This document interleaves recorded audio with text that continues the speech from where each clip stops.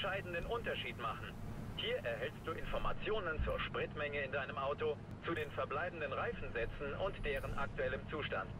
Außerdem kannst du hier die Reifenstrategie vor dem Rennen ändern. Das ist geil, ne? Also das muss ich jetzt mal ganz ehrlich sagen, dass sie uns die Reifenstrategie... Das neue funktioniert nicht. Das Team braucht noch mehr Zeit für die Entwicklung. Du Ja. solltest das Teil im übernächsten Rennen erhalten. Ah, alles klar. Dass sie ähm, uns, uns das mit der Rennstrategie erklären im zweiten Rennen. Finde ich schon gut, muss ich ganz ehrlich euch sagen. Äh, ja, wir fahren mit Weichen bis zur achten Runde, dann nimmt er die harten und in der 19. Runde die Weichen. Warum ist es denn diesmal so wenig? 28 Runden nur? Ist die Rennen... Ich habe das doch nicht zurückgestellt, oder?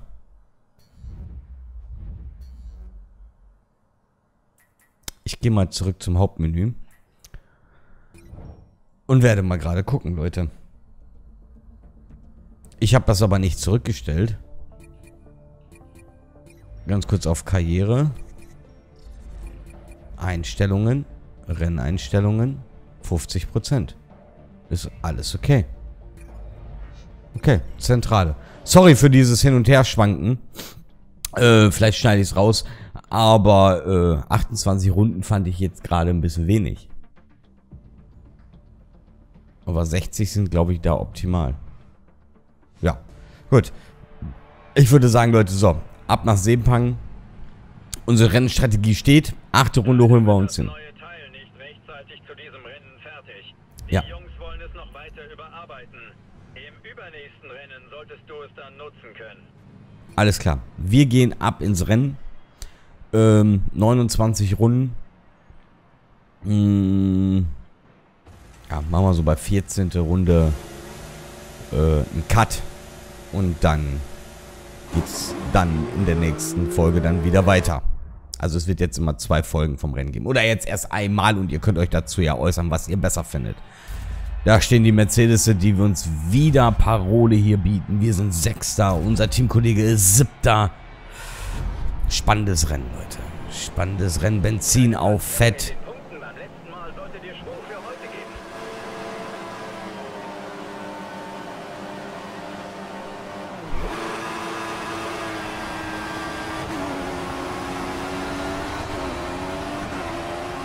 Ach du Scheiße, starte ich immer kacke. Da ist der Elektromotor ausgegangen, da der nächste.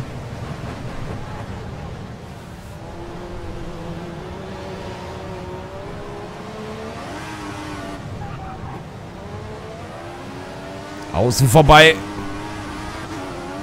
Vierter, Leute, komm. Gas, komm. Jetzt holen wir uns in Rosberg. Passt auf, gleich beim Anbremsen.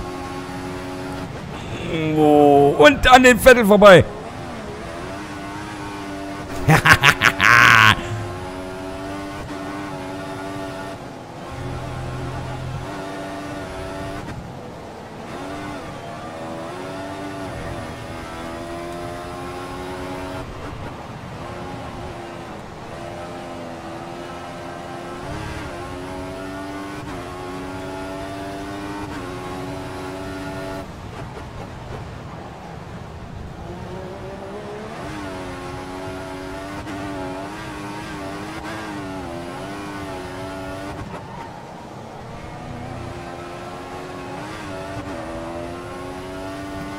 Zweiter Platz.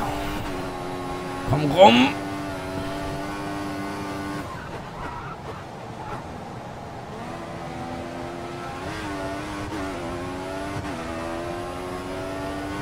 Der Hamilton, der macht da vorne wieder sein Ding, Leute. Das ist der Wahnsinn.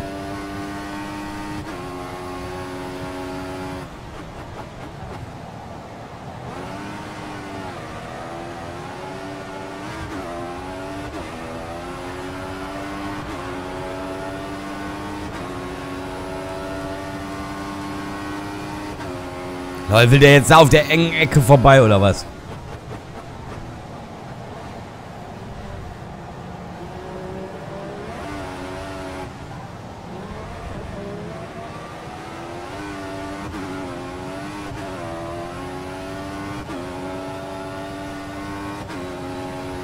So, Gas.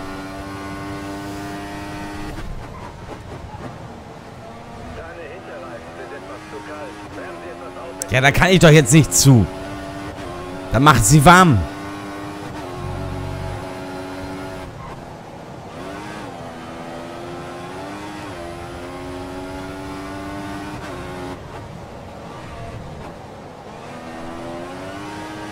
Also ich bin gespannt, wie lange ich mir den, den Rossberg wirklich hinter mir halten kann.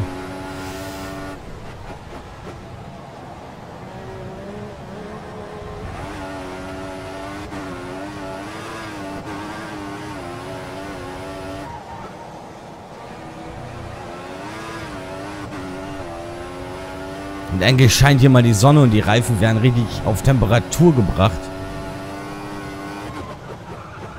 Uh. Da habe ich es ein bisschen übertrieben.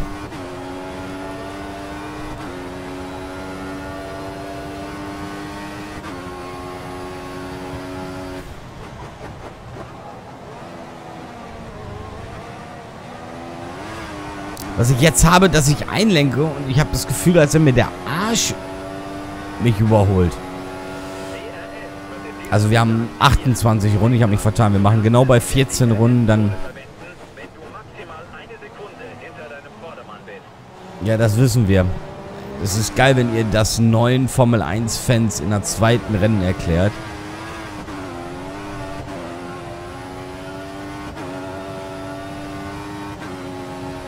Also für die Leute, die nicht so Formel 1 trächtig sind, die das nicht immer gucken, kann ich hier auch mal eine kleine Erläuterung geben.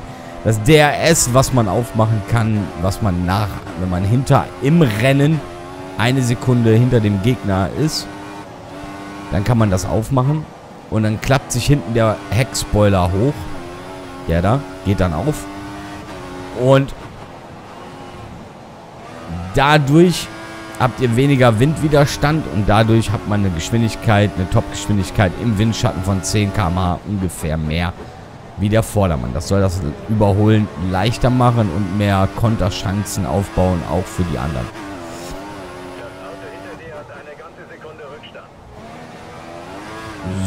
Das ist der S. Dann haben wir ja einen Elektromotor. Der Elektromotor hat 160 PS.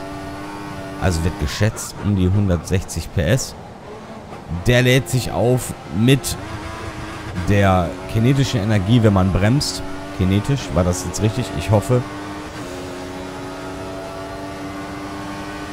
Na, da ist der Heckspoiler auf bei dem Raikön. Oh, oh, oh, Baby, komm. Besser als wir erwartet haben. Push weiter. Äh, auf jeden Fall äh, lädt er sich auf durch Bremsenergie. Und wenn hinten dann die Lichter bei denen mal leuchten, was früher nur beim Regen war, dann ist in dem Augenblick der Elektromotor aus. Meistens keine Energie mehr. Oder er wurde so programmiert, dass er zum Ende ausgeht. Das verrät ja die Formel 1 nicht so ganz, ob das wirklich manchmal nicht auch der Fall so ist. Aber eigentlich soll es so sein, dass dann die Energie aufgebraucht ist. Oder dass er sich abgeschaltet hat. Weil er kein Vollgas gegeben hat. Das kann nämlich auch noch der Fall sein.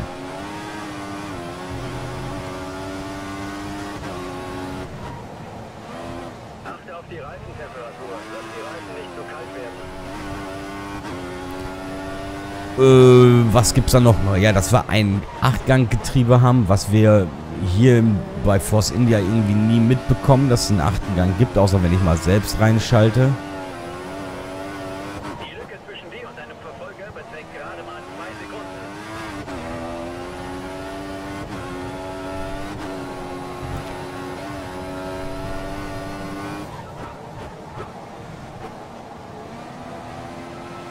Was ich eigentlich jetzt selber nutzen müsste, den achten Gang.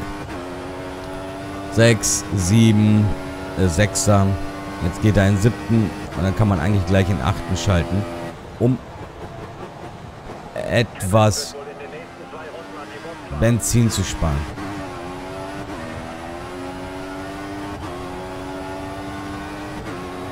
Jetzt haben sie kein DRS, die Gegner. Entweder sie lassen Abstand, um ihren Motor zu kühlen oder haben einfach überhaupt keine Chance, an mir vorbeizukommen. Weil schnell fahre ich wirklich nicht.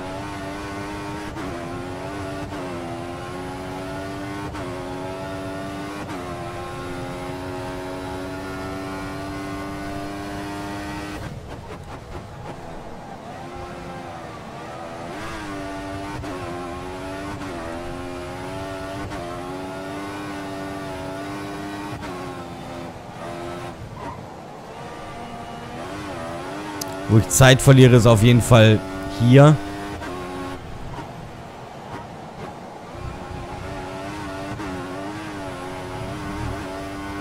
In diesem Sektor, den kann ich nicht. Das, den konnte ich aber auch noch nie in keinem Formel 1 Teil.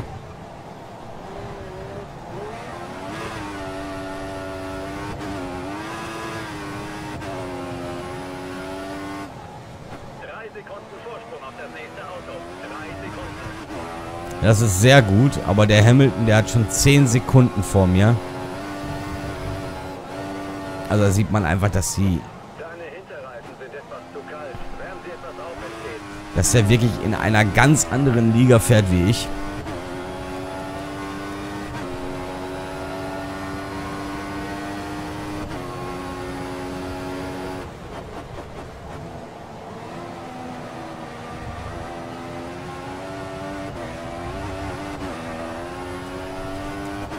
So, jetzt werden wir mal ein bisschen pushen.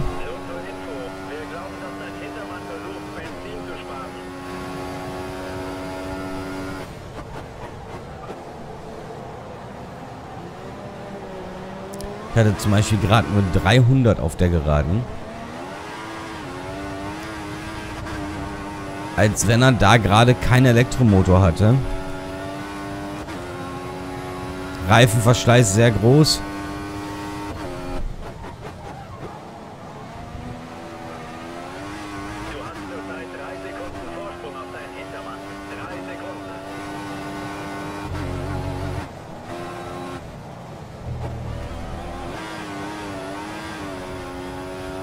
Versuche jetzt die ganze Zeit hier diese hier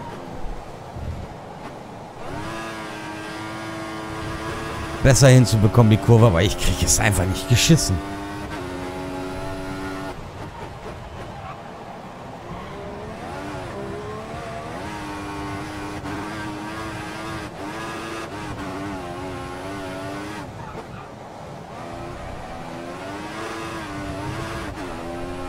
Es fängt dann wieder an, dass die Räder nur hinten Oh, zu spät eingelenkt, Mann.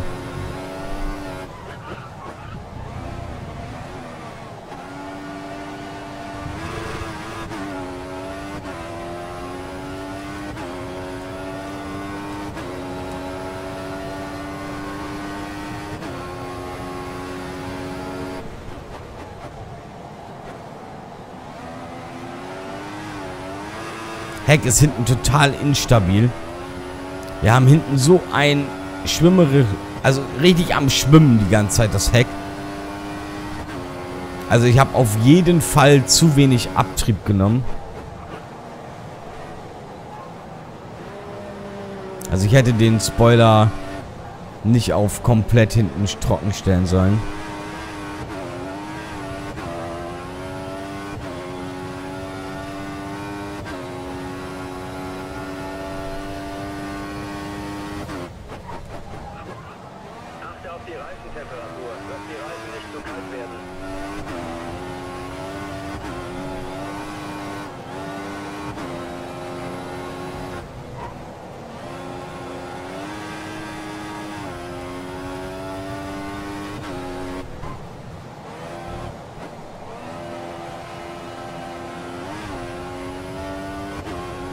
Ich weiß gar nicht, was wir gleich kriegen. Weich oder hart?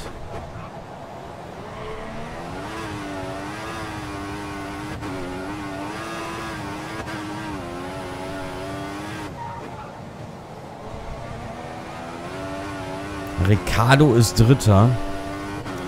Wahnsinn. Guck mal, da fährt der Hamilton schon auf der Geraden. Absoluter Hammer.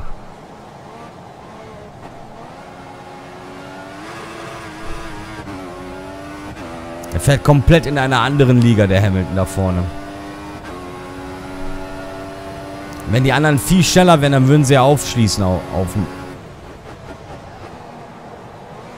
Alter. Seht ihr das, was ich dann rutsche? Schon wieder. Was machen denn meine Reifen? Upsa. Es geht eigentlich noch. Ja, wir werden jetzt nochmal pushen.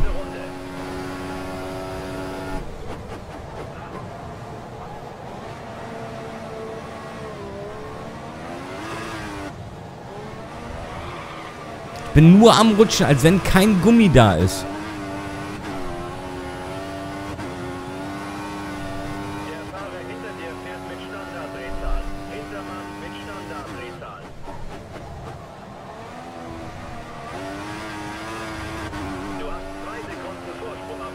Na, jetzt holen sie aber mit. Jetzt ist der Rosberg Dritter.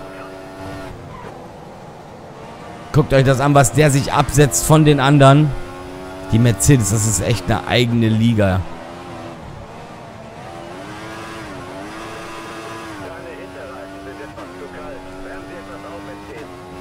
Ich glaube, das ist auch mein Problem, was ich habe.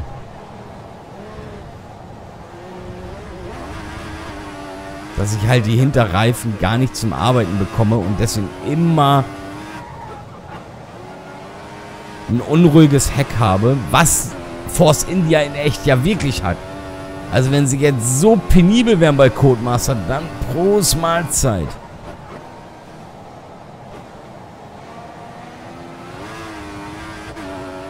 So, wir fahren rein in eine Box. Den Sprit schon mal auf mager stellen.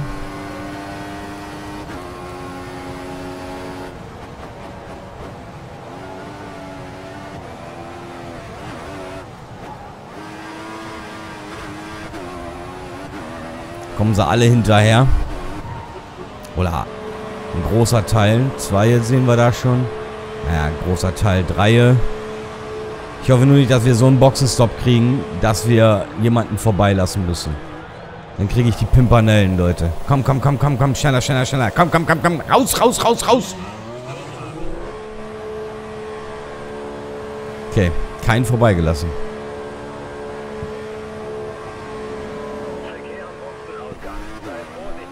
Siebter ist ganz okay nach dem Boxenstopp.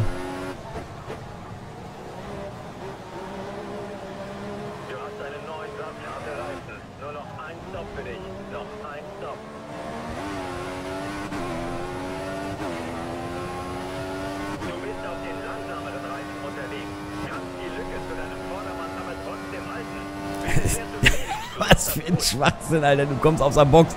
Du kannst den Box, du kannst den Abstand halten.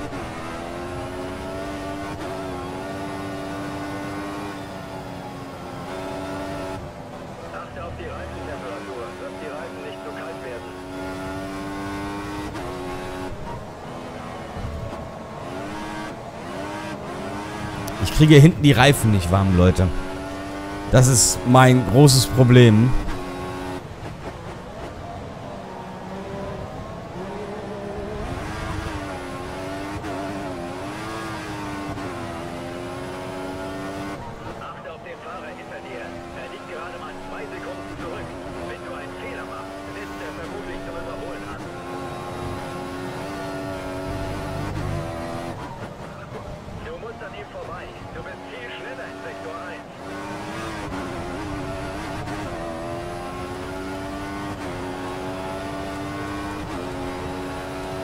Wir gehen mal wieder auf Standarddrehzahlen.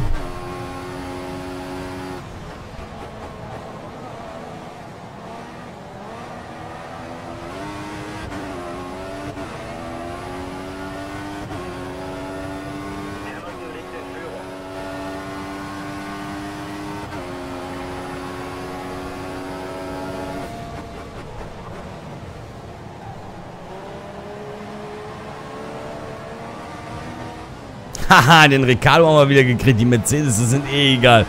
Ja, da habe ich keine Schitte gegen.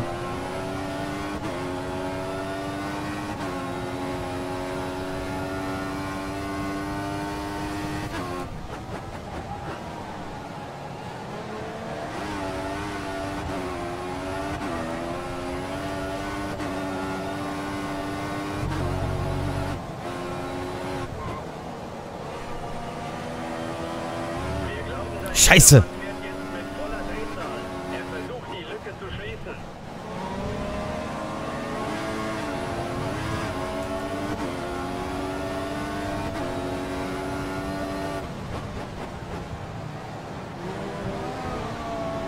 Zu früh Gas gegeben.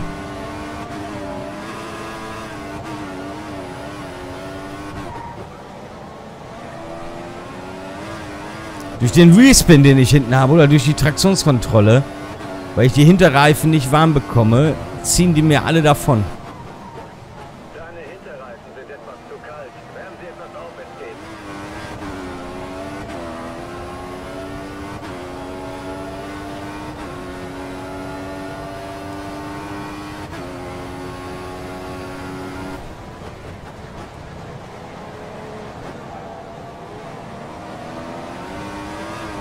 Da was ich mal probiere? Angeblich soll man ja die Reifen warm bekommen. Nein, du hältst jetzt den Mund, der Vettel drückt. Guckt euch mal die Hinterreifen an, die sind total kalt.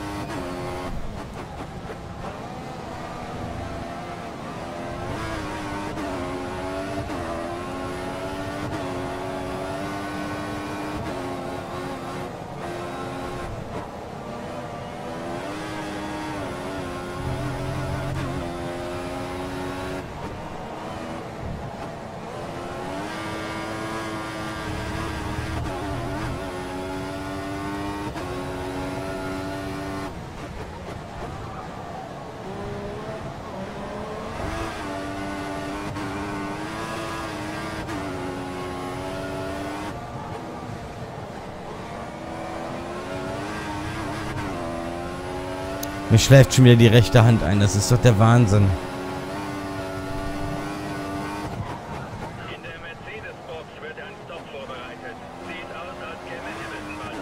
Jetzt erst. Das ist der Wahnsinn.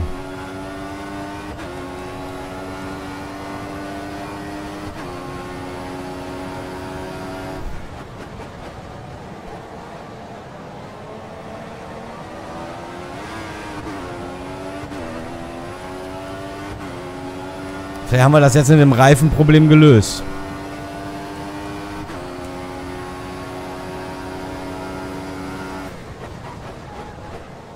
Nee, sind schon wieder kalt.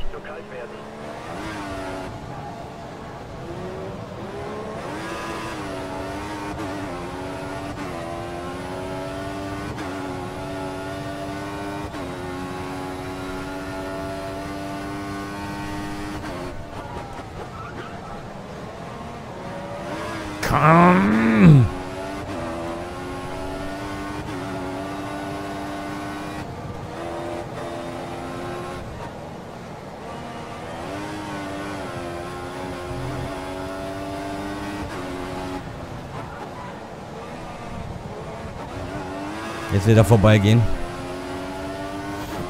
Oh Mann, ey.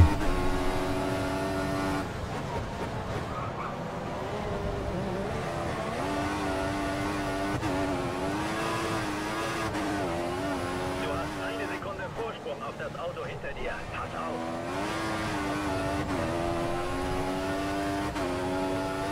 Wir glauben, dein Hintermann fährt jetzt mit voller Drehzahl. Er versucht, die Lücke zu schließen.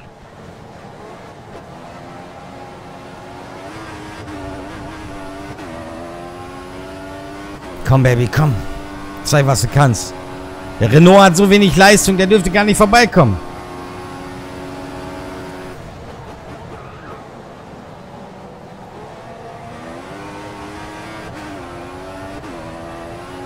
Ah, es funktioniert, glaube ich, besser mit den Bremsbalance nach hinten legen, wenn sie zu kalt wären.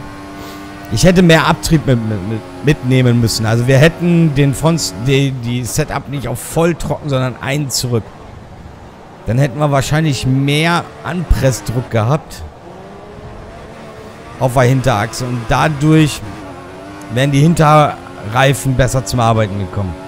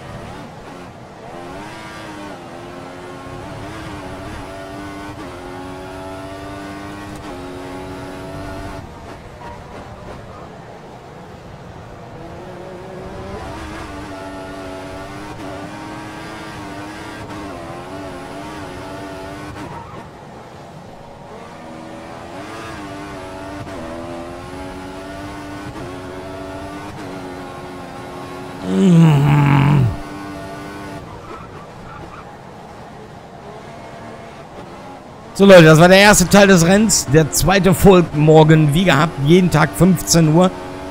Und ich sage vielen, vielen Dank fürs Einschalten bei Formel 1 2014.